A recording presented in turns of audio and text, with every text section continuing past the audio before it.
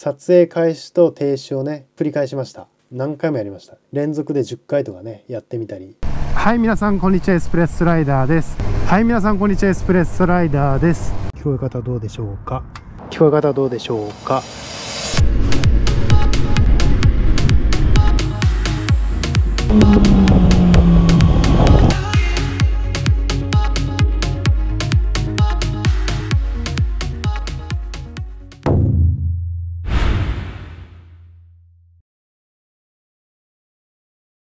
はい皆さんこんにちは。エスプレッソライダーです、えー、今日はねちょっとカメラネタになってしまうんですけどこの今使っている GoPro Hero 8、えー、これのねオプションパーツを購入したので今日はねそれのご紹介をしたいと思います。で購入したパーツっていうのがじゃん、えー、GoPro Hero 8用の、えメディアモジュラーっていうのかな。なぜねこれを購入したかというと今までの GoPro っていうのは、まあ、GoPro Hero 5からなんですけどこういったね外部マイクアダプターを接続しないと外部マイクから音声を拾うことができなかったんですよね。元ブログの場合ヘルメットの中にピンマイクを仕込んで話すのでこの外部マイクアダプターっていうのがね必須だったんですけど GoPro Hero 8からこの外部マイクアダプターをつけるにはこのバッテリーの蓋のところに USB の差し口があるので、えー、蓋がねもう閉まらなくなってしまうんですよね。でこの蓋自体はね取ることができるのでこの状態で使うっていうこともできるんですけどただそうするとバッテリーがね丸見えになっちゃってしかもこれ引っ張るだけでもう抜けちゃうような状態なので、まあ、実質この状態で運用するのはま難しいですよね。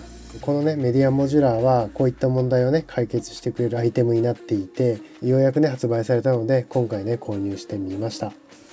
なので今日はねちょっとねマニアックな話になってきちゃうんですけど今現在 GoPro Hero 8を使っている方や、まあ、今後 GoPro Hero 8を使ってみたいけどどうなのかなって思っている方にね、参考になればいいと思います。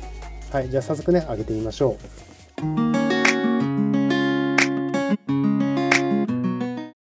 ちなみにねお値段がね9500円もするんですよ。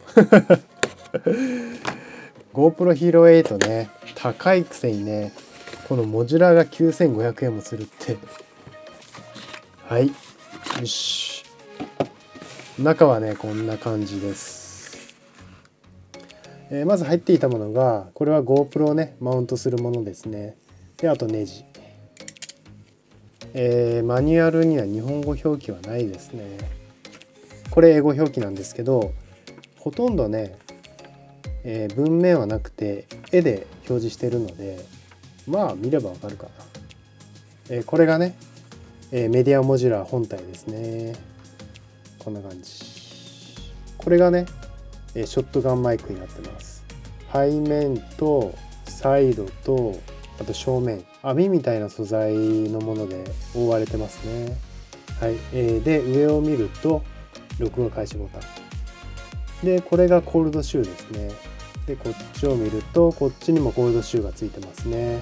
で反対側は電源ボタン。で、えー、そこなんですけどえっと穴がねぽっかり開いてるので GoPro Hero 8のねマウントをそのまま使えるようになってますね。で背面がこうなってます。一番上のポートがマイクロ HDMI のポートででその下が USB Type-C のポート。でその下が 3.5mm のマイクジャックですね。本体はこんな感じになってます。取り付け方法なんですけどすごく簡単でこの GoPro Hero 8の電池蓋があるんですけどこれを外してメディアモジュラー側にも蓋があるので開けます。出っ張りを下に押しながらカチャッ。とこういう感じで開きます。えここにね USB の Type-C のね見えるかな？押す側の端子がついてるので GoPro Hero 8のねここの USB Type-C の端子をドッキングさせれる感じではめます、まあ、スライドさせて押し込むだけですね。で奥まで入ったら蓋を閉めはいさっき話した通りこのモジュラーはマウント部分がついてないので GoPro Hero 8の本体のねマウントをそのまま利用できるようになってますね。でこれを見てねもう分かると思うんですけど一回り二回りぐらい大きくなりますよね。ちなみに GoPro Hero 7はこんな感じ。はいじゃあちょっとね実際ねヘルメットにマウントしてみたいと思います。まあサイズはねちょっと大きいんですけど通常の GoPro のマウントが使えるので、まあ、今までね使っていたマウントがそのまま使えますね、まあ、はめてネジで締めるだけ。でマイクをねこの 3.5mm のマイクジャックにつけるとこんな感じ。僕が使っているピンマイクはこのコネクターのところがね L 字のものを使っているのでかろうじて刺さるんですけどマイクによってはねもしかしたら刺さらない可能性もありますね。ここがちょっと注意点ですね。で給電するためには裏側にね USB Type-C のポートがあるので USB ケーブルでつないで給電するんですけど結構ねこの隙間も狭いのでこれもケーブルを選ぶと思いますね。横から見るとこんな感じですね。で正面はこんな感じ。でかいな。で反対側。こう。で今日やることなんですけど今日はこの外部マイクアダプターを使った時の音声とあとメディアモジュラー経由で話した時の音声のね比較をやりたいと思います。であとは僕はねあんまり使わないんですけどこの GoPro Hero 8の内蔵マイクとメディアモジュラーに内蔵されているガンマイクとのね音声の比較もやってみたいなと思います。はいじゃあ早速ね行ってみましょう。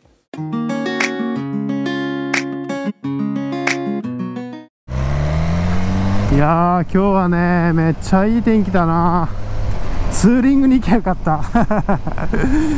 はいということでね早速ね比較をしていきたいなと思います。えっと今喋っている環境が GoPro Hero 8に外部マイクアダプターをつけて喋ってます。まあこれはね今まで、えー、これで元ブログをやってきたので聞こえ方はね変わんないと思います。はい皆さんこんにちは。エスプレッソライダーです。今 GoPro Hero 8に外部マイクアダプターをつけて喋っています。聞こえ方はどうでしょうか？テステステステステステス。はい皆さんこんにちは。エスプレッソライダーです、えー、今 GoPro Hero 8にメディアモジュールを挿して、えー、話しています、えー、聞こえ方はどうでしょうか？テステステステステステス。はい皆さんこんにちは。エスプレッソライダーです。はい皆さんこんにちは。エスプレッソライダーです。今 GoPro Hero 8に外部マイクアダプターをつけて喋っています、えー、今 GoPro Hero 8にメディアモジュールを挿して、えー、話しています。聞こえ方はどうでしょうか？テステステステステステス、えー、聞こえ方はどうでしょうか？テステステステステステス。はい、えー、今ね GoPro Hero 8の内蔵マイクで喋っています。聞こえ方どうでしょうか？テステステステステステス。はい、えー、次はねメディアモジュールをつけてマイクの設定は背面側のマイクを有効にしてます。聞こえ方どうでしょうか？はい、えー、今ね GoPro Hero 8の内蔵マイクで喋っています。メディアモジュールをつけてマイクの設定は背面側のマイクを有効にしてます。聞こえ方どうでしょうか？聞こえ方どうでしょうか？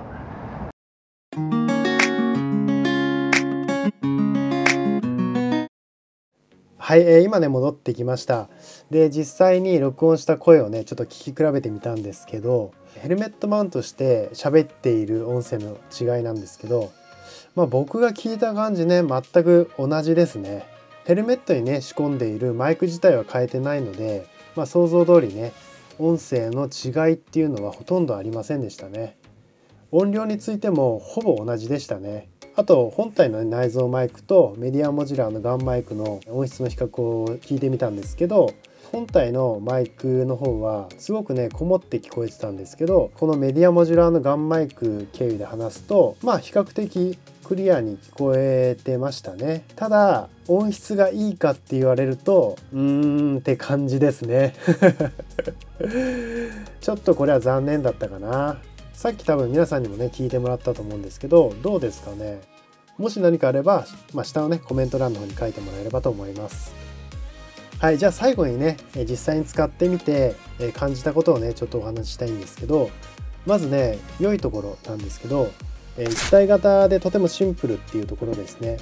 まあ見ての通り筐体の後ろには 3.5mm のマイクジャックとか USB Type-C、HDMI もほとんど使わないですけど各端子がここに搭載されているのですごくシンプルですよね。2つ目。えっとまあさっきのシンプルっていう話にもつながるんですけど今まではこの外部マイクアダプター使ってたんですけどここのねコネクター部分がすごく弱いというか接続した後はすごく取り扱いに気を使っていたんですけどこのメディアモジュラーの場合はこの本体とメディアモジュラーをねガッチャンコするタイプなので接触不良とかのトラブルがなくなるのでそこがまずいいですよね。で次は3つ目。安定性ですね。今日一日ね給電しながら撮影をしてたんですけど動作確認もしたかったから撮影開始と停止をね繰り返しました。何回もやりました。連続で10回とかねやってみたりしたんですけど今のところ音声が取れてないとかっていうトラブルはね発生してないですね。ただ1点ね注意があります。この GoPro Hero にはクイックキャプチャーっていう機能があるんですけどそれは何かというと電源が切れている状態からこの録画開始ボタンを押すと電源が勝手に入って録画を始めてくれる機能があるんですけどその機能を使うとなぜかね外部マイクを認識しなくてガンマイクの方で全部音を拾っちゃってましたね。なので録画をする時は必ず本体の電源を先に入れてからこの録画ボタンを押すっていう運用をすれば今のところね100%音声は取れました。今後ねバージョンアップで改善されるかもしれないんですけどまあそこだけねちょっと注意が必要ですね。はい次はね悪いところなんですけどボタンの押し心地が悪いですね。結構ねグッと押さないと反応しないんですよね。なので厚手のグローブなんかをつけてるとすごくね押しづらいですね。2つ目。えっと電池の交換がすごくめんどくさいです。バッテリーの交換の方法をね説明するとまずここの爪を引っ張ってモジュラーの蓋を開けます。でこの状態でスッと抜ければねすごく良かった。だけどそれができないんです。なぜならこのマウントする部分これが本体に内蔵されているからこれを畳まないとね GoPro 抜くことできないんですよね。なので電池を交換する場合は一旦マウントからこれをモジュラーを外してマウントする部分を畳んでからモジュラーの蓋を開けてあと引き肉そして中のバッテリーを交換する。すごくね手間ですね。このモジュラーを使うんだったらもう給電をしながら運用するっていう方法一択ですかね。はいこれがね今日一日使ってきてえ感じた、まあ、いいところと悪いところですね。